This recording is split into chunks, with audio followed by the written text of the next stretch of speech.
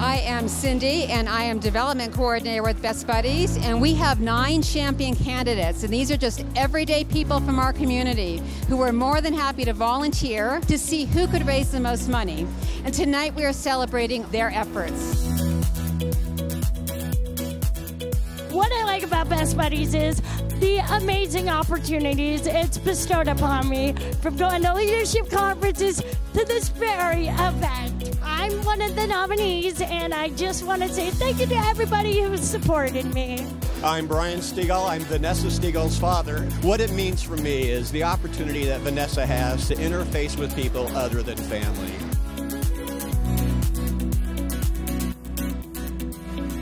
By having the opportunity to interact with her best buddy, it really gave her a chance to grow and kind of come out of her shell. We talk about best buddies in terms of friendship, but it's a much larger purpose of inclusion.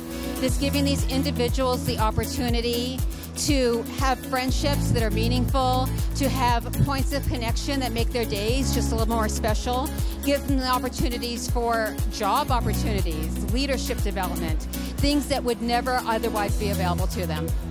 Best Buddies is important because it can help people with disabilities like myself to be more open and free to help end social isolation for people with disabilities.